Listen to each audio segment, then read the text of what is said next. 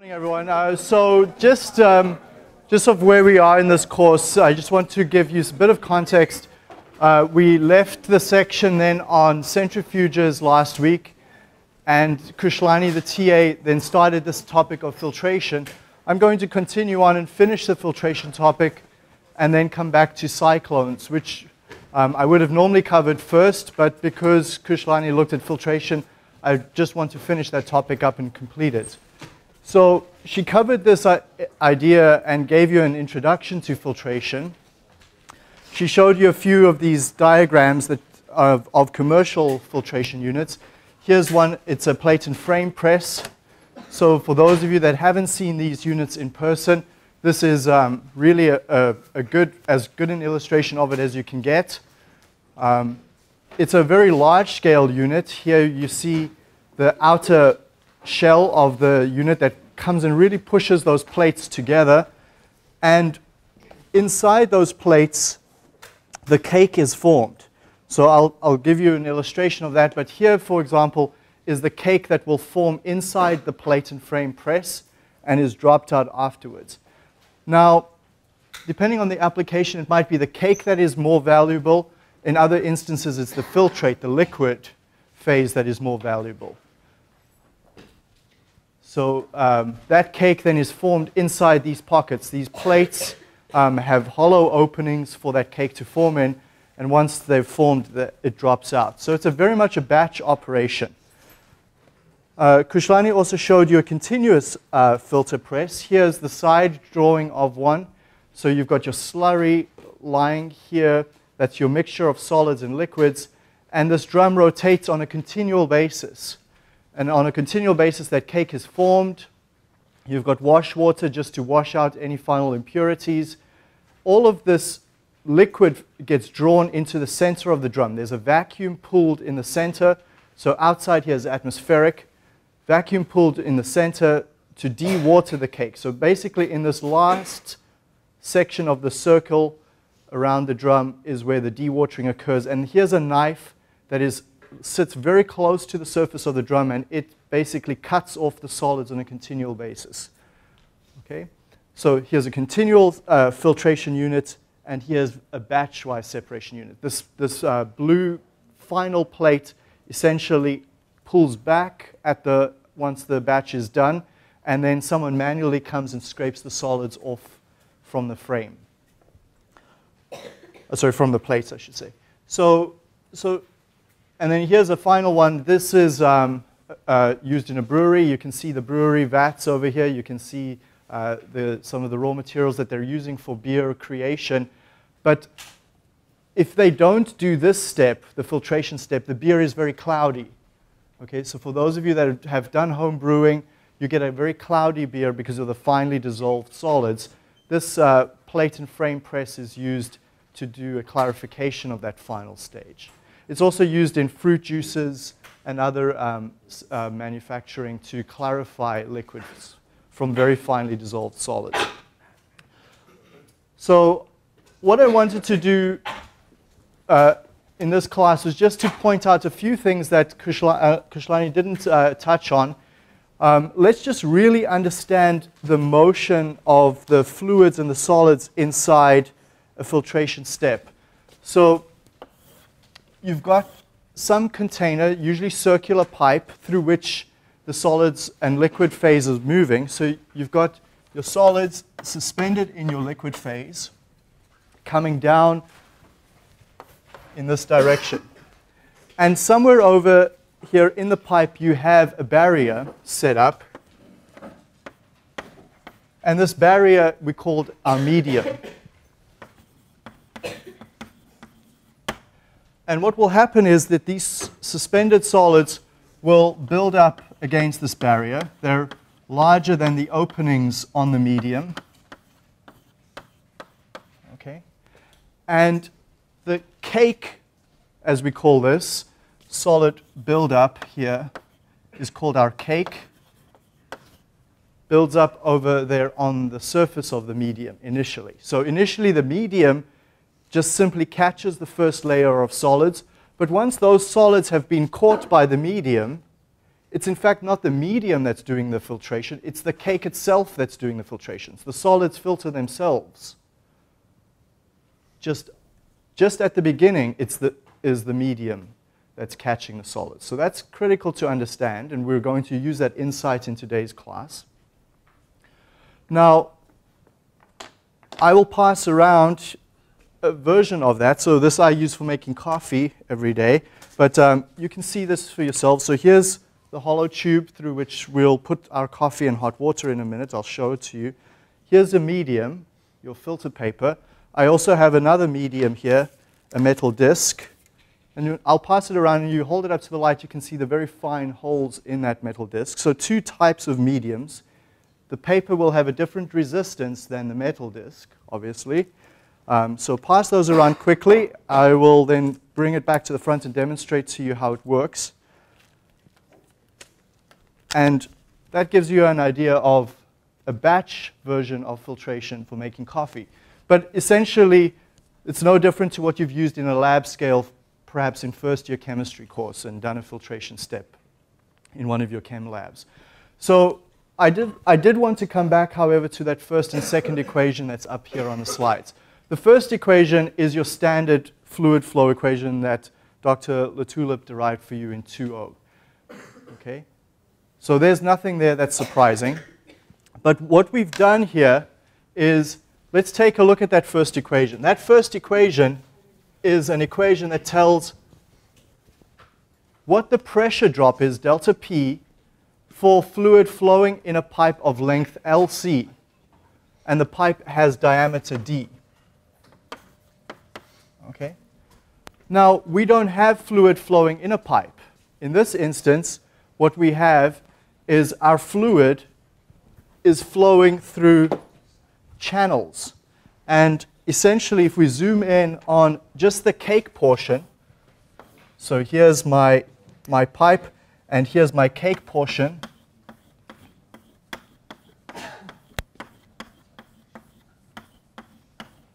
The fluid now is flowing through channels that don't have a diameter d. We're now flowing through these narrow channels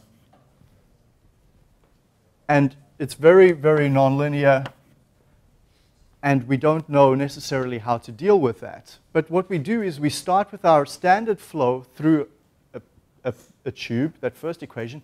We simply modify that equation. The viscosity stays the same, but the velocity v isn't the same velocity v. In fact, what is this velocity over here? It is a velocity which we call v over epsilon, the porosity. So you'll recall this void fraction or this porosity value is a number that tells us how closely packed our solids are. So a porosity of 1 actually corresponds to this case. Porosity of 1 is essentially no solids. Okay. And a porosity of 0 isn't something we can achieve in practice. Uh, we can never get down to a porosity of 0. But a porosity of zero essentially would imply it's 100% solids. There's no gaps at all. Okay. So the porosity E tells us how much our percent void space is. So if we've got 100% void space, we've got no solids. And if we had 100% solids, sorry, 100% void space, we're saying V divided by 1 is simply V. It says then that essentially the velocity in an unpacked bed is the regular velocity. But if we're divide, dividing through by a number smaller than 1, that overall velocity term becomes a larger number. And that makes sense, because if we're applying the same delta p over this region as in an empty region, the fluid has less space to flow, and it has to be flowing at a faster velocity. Okay? So we essentially get a modified velocity term over here. If we also come back to the, uh, to the Hagen-Poiseuille law over there, the d squared is a representation of the cross-sectional area through which the fluid can flow. d squared is related to the cross-sectional area. Well, in this case, our cross-sectional area depends on how closely packed these solids are, as well as the surface area through which that solids travel. And so we get this modified term, which then is essentially the representation of the effective area for the solids. So the Carman-Kozeny equation is simply a modification of the, the basic fluid flow law that you've learned that's up there, and we modify it slightly and we get a new constant K1. K1 there is roughly 4.17. It isn't truly a constant. It can be as low as 4 and as high as 5, but we can do a quick experiment to figure out what that is. Okay, so, so that's that situation, and uh, Krishlani went through this slide. I won't go through that one again. It's a simple mass balance that one can do to calculate um, the mass of fluid and the mass of solids in the filter bed. But I do want to point out this last equation here on the board. CS is equal to A times LC times 1 minus the porosity times the particle density divided through by the V, capital V, the volumetric, sorry, the volume of filtrate, capital V. This it's a little bit confusing perhaps with lowercase v and uppercase v. It's, it's clear in the slides, but on the board I'll always emphasize it by drawing an extremely large v for volume. Okay, so there's one problematic term in this equation, and that's LC. LC is problematic. It's the length of the cake. We don't know that. We don't know it because we cannot look inside this plate and frame press and see what size that cake is. That cake is growing over time. We don't have a visual indication of what LC is, except in very arbitrary lab conditions do we know what LC is. But in general, we don't know what LC is, yet it shows up in our equations. So we're going to have to deal with that in some way, and I'll show you how we do that next. Krishlani went through these equations over here. Um, let me perhaps just jump over to this one where I would like to emphasize an important point of flux. So we've got this term flux J, and we're going to see it all the time in this course. And flux is something you have seen in other courses. It just maybe not called exactly that. But this shows up everywhere in chemical engineering that we should have a discussion about it. Transfer rate divided by transfer area. And I haven't really specified here what is being transferred. It could be mass that is transferred. It could be energy that is transferred. In this case, we're going to deal with, with, um, with mass transfer of the fluid phase. But it works in any case transfer rate over transfer area is always equal to the driving force over resistance. Okay. And let's come back to an equation we actually looked at in sedimentation. Sedimentation, we had this equation. I'll use the terminology, the notation we had back there. We said flux was equal to C naught times V. If you recall back to the sedimentation lectures, we were looking at the flux of the solids in a sedimentation vessel, and we had that equation, C naught times V.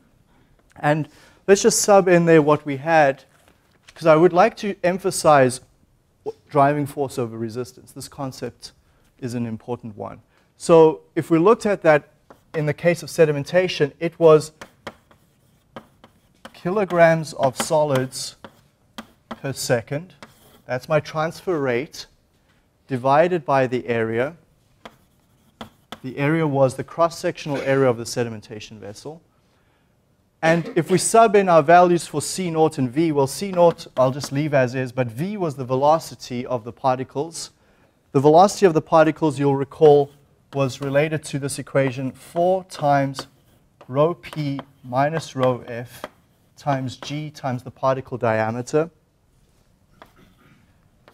divided by 3 times CD times rho f.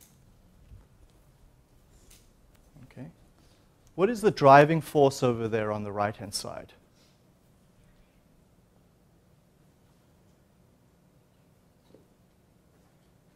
In sedimentation, what is driving the settling? What is driving the solids being moving from the top to the bottom of the sedimentation vessel? Gravity. The density difference, okay? So we see the product of those two here. There's the density difference, there's gravity. If I was operating a sedimentation vessel in a part of, um, in a different part of the universe where G was higher, I'd get a greater driving force. If I had a greater particle, different particle density to fluid density difference, I'd get a greater driving force. Okay, so right there in my numerator is driving force. And if I had larger driving forces, I'd get a greater kilograms of solids settling per second.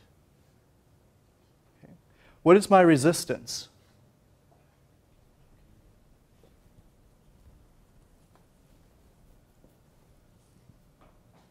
Resistance is telling us what is slowing down or preventing the solids from settling.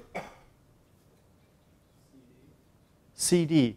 That is, what is that term? The drag coefficient, right? There was also buoyancy. Buoyancy was also another force counteracting those solids from settling. It's also a type of resistance. Buoyancy is proportional to rho F. Every chemical engineering equation where you're transferring energy or mass, you will always find a driving force, you will always find a resistance, and you'll always be able to express it in this general form. This equation is, is probably the most important chem-eng equation. Okay? Every single concept we've dealt with in your four or five years can be expressed in that form. Okay? Go look at your energy balance equations for a heat, for a heat exchanger, where you're exchanging or you're looking at the flux of heat so what, how fast can you move heat from one side of the heat exchanger to the other per unit area, has a driving force, and it has a resistance. You can always write your equations in this, this form. Okay, so let's go back to filtration. Filtration, we're looking at flux, and I want to emphasize which flux we're looking at. So let's just draw, draw our batch filtration unit again. So there's my outer tube that's holding my mixture. There's my medium. And on my medium, after a while, we have this cake buildup.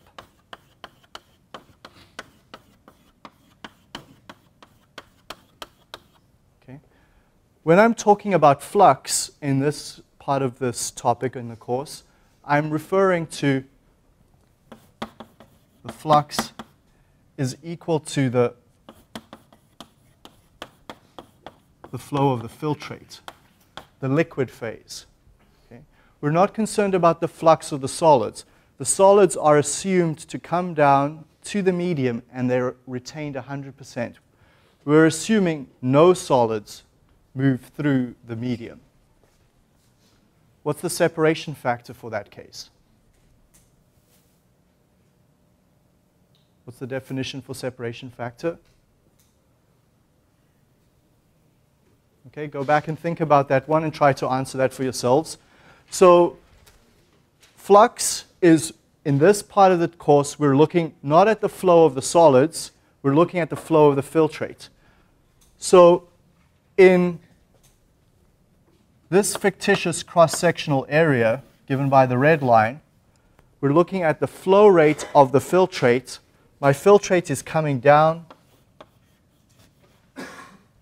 and I'm going to be looking at the number of meters cubed per second per unit area passing through that red line. So the flux, in fact, through the cake is the same as the flux through the medium. All the liquid at steady state has to pass through the cake, and that same amount of liquid per unit area passes through the medium. So the flux in the cake is the same as the flux through the medium for the filtrate, for the liquid phase. Okay, that's a critical understanding we have to, to look at. And this equation that's up here tells us what that flux is. dV by dt,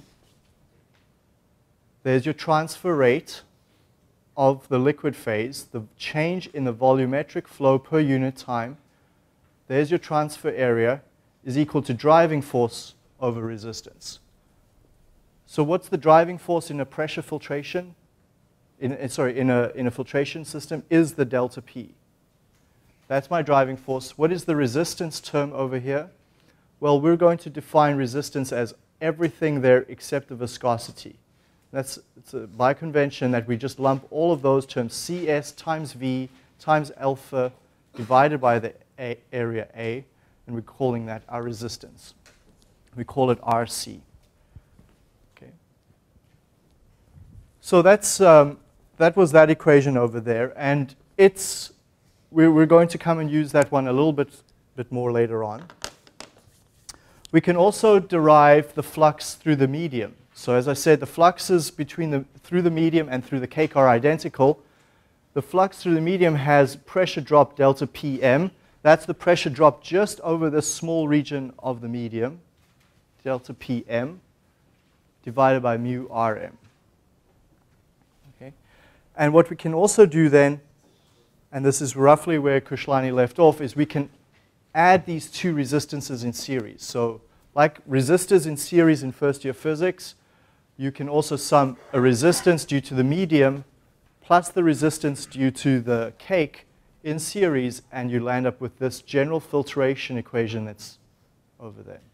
Okay, so that's what we're going to use throughout this course. And we're going to simplify it in various, in various ways.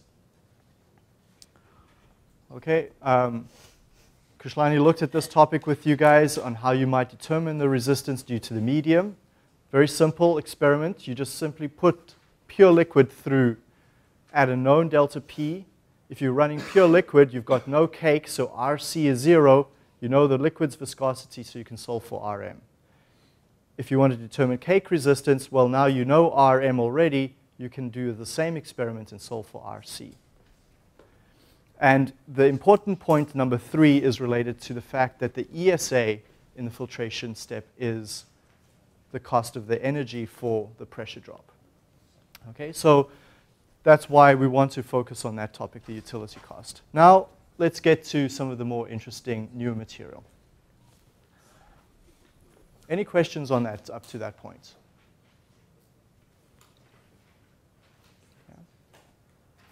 Okay, so let's take a look here then.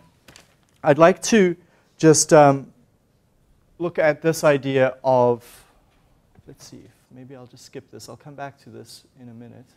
We're going to see this uh, next week when we look at membranes. Um, let's, let's go back to this equation here. So this was the equation we ended off with. Flux on the left is equal to the pressure drop, our driving force, and our two resistances in series. Now I want you to think about that piece of equipment I showed you at the start of the class. And think about these two questions. I'm going to have you discuss them. And this is important. Why are we looking at which, which variables in that equation are a function of time and which are a function of the volume?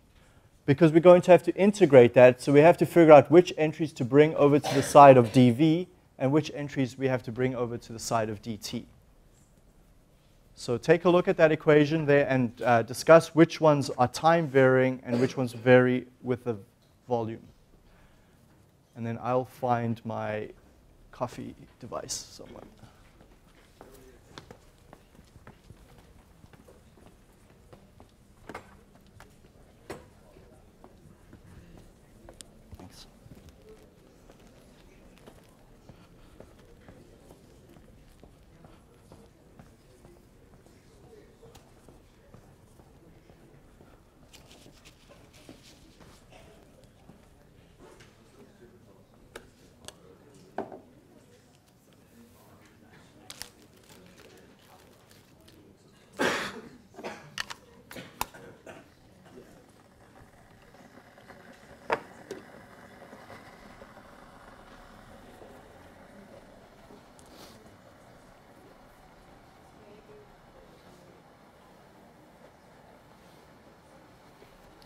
Okay, which terms are a function of time?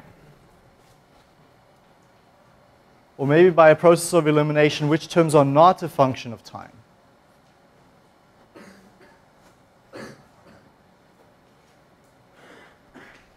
Nope. Let's go through the list. A, area, cross-sectional area. Function of time or not? Constant, okay. Delta P. This is a tough one. Let's come back to delta P. Let's look at viscosity. Viscosity of the liquid probably not going to modify over time. CS, the slurry concentration. No. This is our concentration of the solids per meters cubed of filtrate. That's our feed concentration. So it's constant. It's coming to our filtration step at a constant value. The medium's resistance. Okay, so this is the resistance of this medium that we're putting down first to catch the solids. Constant. Okay, so once we know what this medium's resistance is, that's fixed. RC, the cake resistance. We expect that one to change, okay? For the simple reason that RC is going to be a function of the, that cake thickness. As that cake builds up, it gets thicker and thicker. The resistance due to the cake goes, goes higher and higher. Alpha, the cake's resistance, specific resistance due to the cake. Let's take a look at this term down here. Alpha is a constant K1, porosity, and then S naught, rho P. Okay, so any terms in there that vary with time. Rho p varies with time? Probably not. S naught, the area of the particles per unit volume. Constant. Porosity.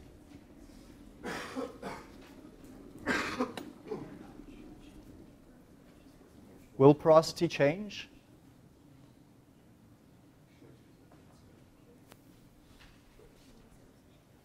Yeah, any guesses?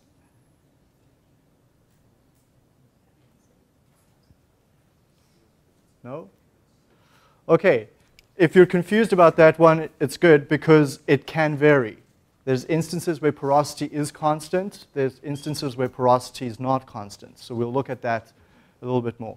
Okay, so let me talk a bit about this filtration equation. There's two ways we can use it. And it, it will help answer whether delta P is constant or not. So I'm going to make some coffee. You've all had a chance to look at this filtration device. I've put the metal plate in here. So there's my medium. It's got small holes in it that you had a chance to see. Put it in at the bottom. Let's put some coffee in. And we're going to do a quick leaching separation step first. So as I put my hot water in, that's the leaching step. Give it a chance to mix and extract that coffee.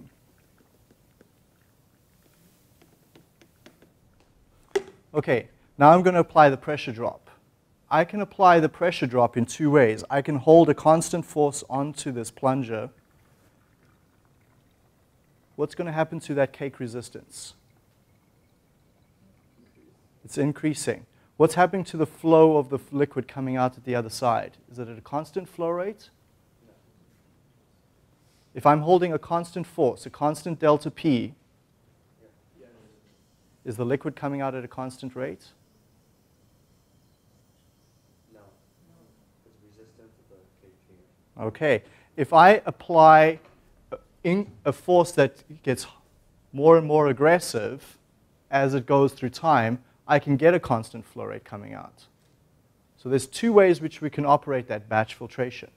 One is to get a constant flow dV by dt, but to get a constant flow dV by dt, we have to apply an increasing delta P over time because we have to counteract that RC at the bottom that's getting larger and larger. the other way I can operate the filtration step, and that's the way we're going to look at right now, is by keeping delta P constant I can always do that. That's very easy.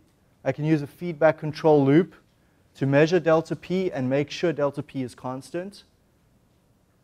And then RC, as you correctly said, goes up and up and up. So if delta P is constant, Rm is constant, mu is constant, and Rc is going up and up and up, what's happening to dV by dt? Take a look at the equation. Rc goes up, dV by dt goes down. Okay? So constant pressure filtration has declining flow rates. So if you plotted over time,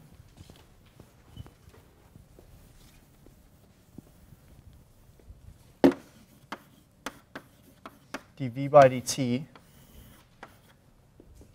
sorry, let's say,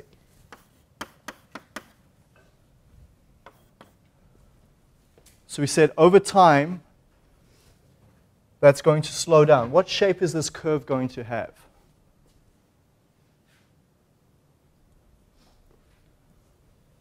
I'll give you three options.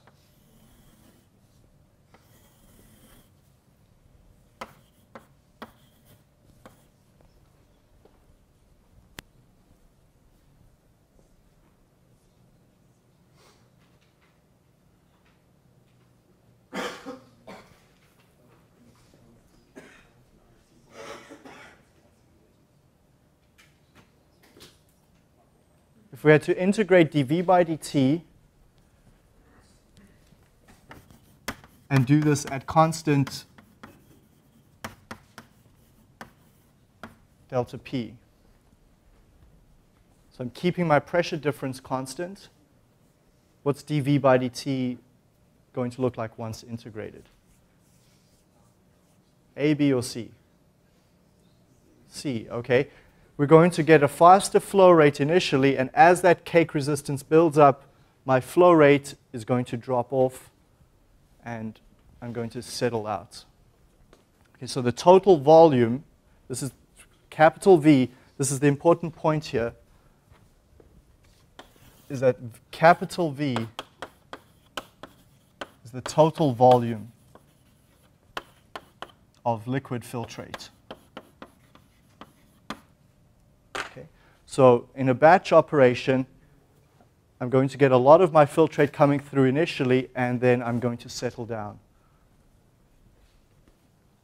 So it should be no surprise that we get that shape of curve when we go do the, do the work next.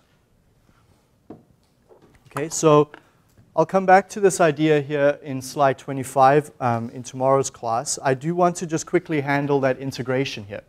So the way we do it is as follows. We start with that equation. I've marked V in red. And what we're going to do is to do this integral, we actually are more interested in, it's kind of counterintuitive, we're interested actually in the time. When we're dealing with separation processes, it's the time that's of interest. How fast can we get that separation done? So we're going to flip it around and get dt here over dv. And we're going to integrate so we get the total time taken to get a certain volume, capital V. That's our end goal. So if we go flip it over dt by dv, we can group those terms here in orange, and we can go group those terms in blue. And what we end up doing is these terms in blue we call Kp, and the terms there in orange we call capital B. This is going to be our filtration equation at constant pressure. It's very important that you emphasize that. It's constant pressure because when we do the integral, we can easily take delta P and put it out here. It actually appears two, in two occasions. It appears in the constant B and it appears in this blue constant Kp. Okay? But we know that in, in delta P would have changed otherwise in, in other situations. In other filtration steps, delta P could have changed as over time. But we're guaranteeing here that we keep delta P constant. And that's why it becomes lumped up in, this, in the orange constant and the blue constant. And once we make that simplification, we can integrate this and we get this quadratic equation. And if you plot that quadratic equation, you get exactly what you correctly predicted was the form of the curve looks like like this. So it says There's your quadratic equation. I've just flipped it around a bit. I'm plotting t on my x-axis, and I'm plotting v on my vertical axis. But that's essentially a quadratic form with constant b and constant kp. Okay, and constant b in SI units has that form, and constant kp has a very strange set of units, seconds to the per meter to the power 6. Okay, let's, um, let's go ahead and actually try using this equation. I'll, I'll come, come back and talk about these practical topics next. But here's a chance for you to give this, give this a try and see if you can calculate those constants b and if you can calculate the constants alpha and rm. Now, I don't want you to use your calculators here. In fact, I've given you the answers. All I do want you to do is just plan your approach for steps one, two, three. Let's just do steps one, two, and three first. Okay? Planning is actually, there's, a, there's some subtleties here in this planning, so definitely give it a try.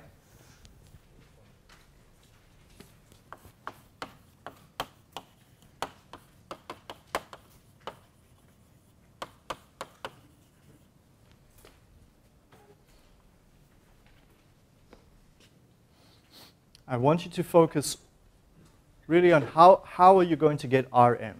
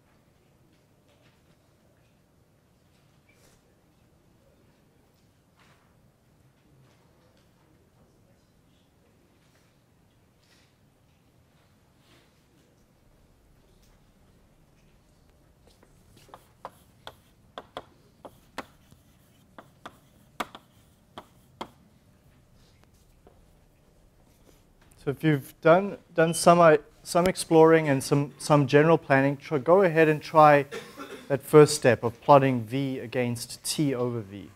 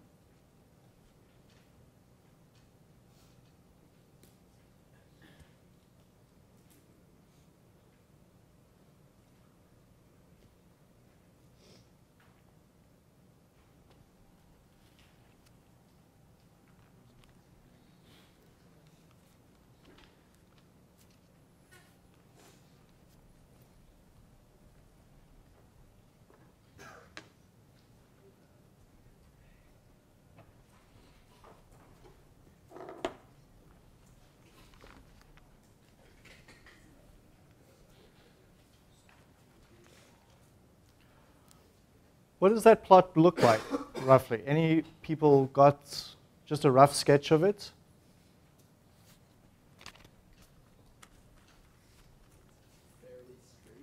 Fairly straight line. Let me just quickly explain why, why that was asked over there, right? If we're plotting V against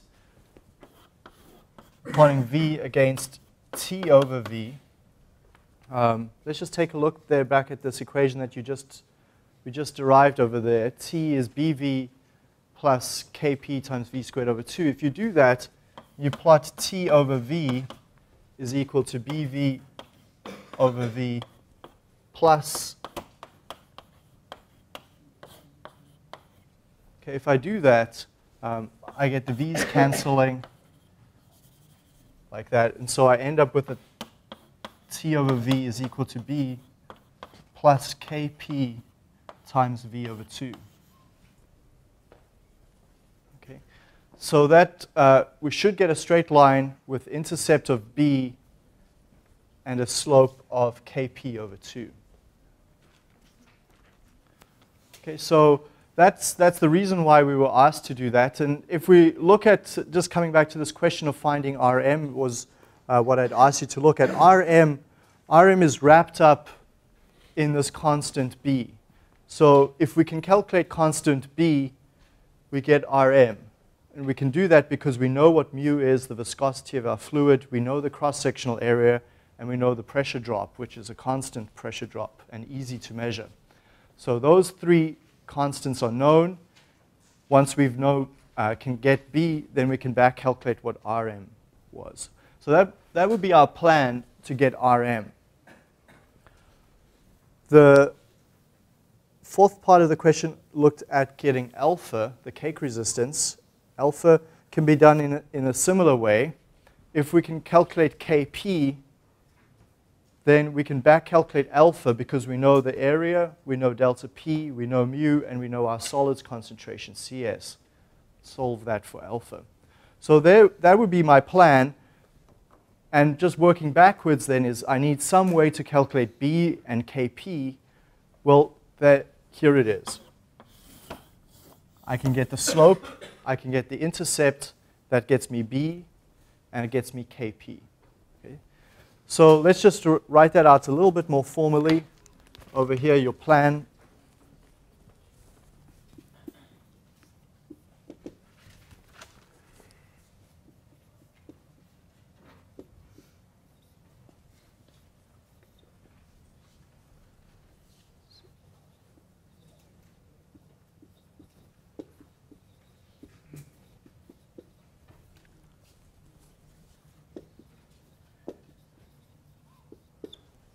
So the slope is going to be kp over 2, and your intercept is going to be bb. And then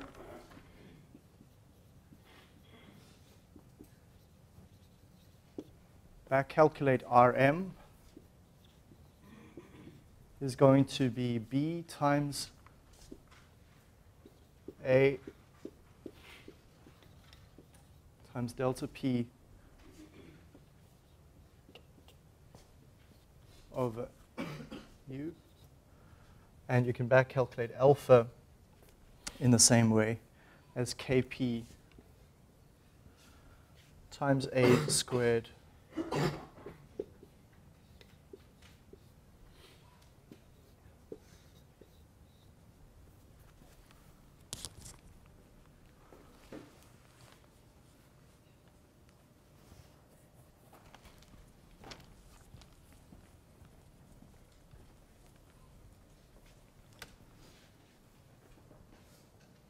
So the answers are given there for you. You um, should certainly go try that out. I, I will just uh, quickly point out a subtlety with this, um, with this problem. Let's just actually plot those, those data quick.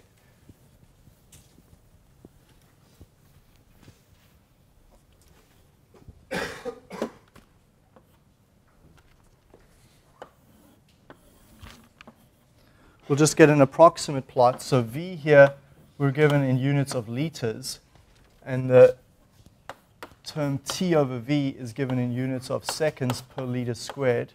Oh, sorry, seconds per liter, I should say. Yeah, seconds per liter.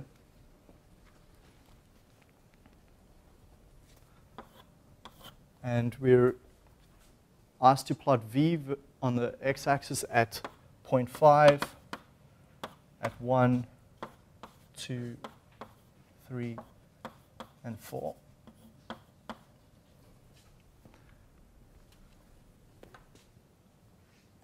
And the corresponding values are 37, 38, 48, 60, and 70. Okay, so that's where that approximately straight line comes in. You can go show for yourself um, the slope. There is 10.67, and the intercept is 27. But what's the units of the intercept?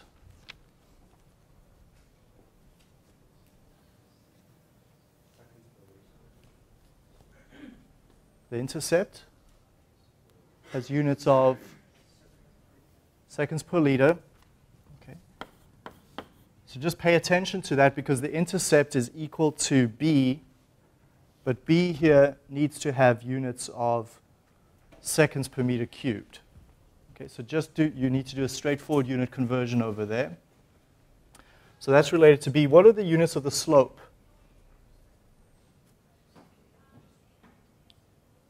slope always has units of y divided by the units of x. So slope in this case is units of seconds per liter squared. Okay, and again here slope is equal to kp over 2. The intercept is equal to b.